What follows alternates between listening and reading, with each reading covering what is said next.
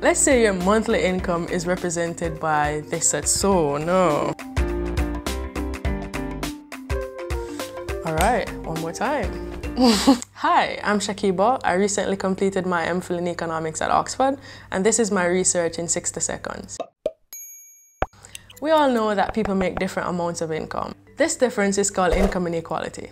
But could it be that as inequality increases, recessions become worse? Let's say your monthly income is represented by a Satsuma. It's typical of most economists that many people earn low incomes and therefore end up spending almost every segment of income each month, while a small group, those with high incomes, are left with virtually an entire Satsuma at the end of the month because they start out with more.